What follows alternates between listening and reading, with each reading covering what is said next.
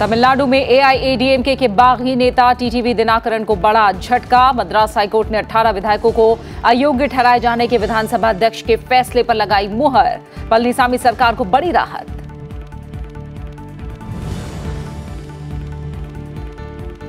विशेष निदेशक राकेश अस्थाना समेत सीबीआई के अधिकारियों के खिलाफ भ्रष्टाचार के आरोपों की एसआईटी जाँच अदालत की निगरानी में कराने की मांग करने वाली जनहित याचिका की जल्द सुनवाई पर विचार करेगा सुप्रीम कोर्ट। विवादों के बाद छुट्टी पर भेजे गए सीबीआई प्रमुख आलोक वर्मा और विशेष निदेशक अस्थाना।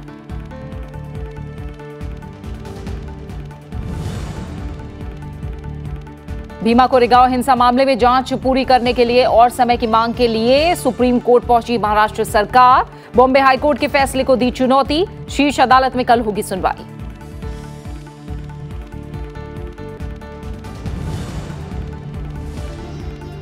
पीएनबी धोखाधड़ी मामले में नीरव मोदी पर प्रवर्तन निदेशालय ने कसा शिकंजा।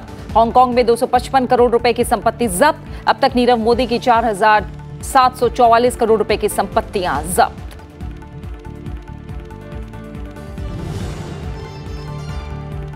और एशियन चैंपियंस ट्रॉफी में टीम इंडिया का अजय अभियान जारी। पाँचवें और आखिरी लीग मैच में दक्षिण कोरिया को दी चार एक से मात। फ्रेंच ओपन बैडमिंटन टूर्नामेंट के दूसरे दौर में साना किदाम्बी और प्रणीत।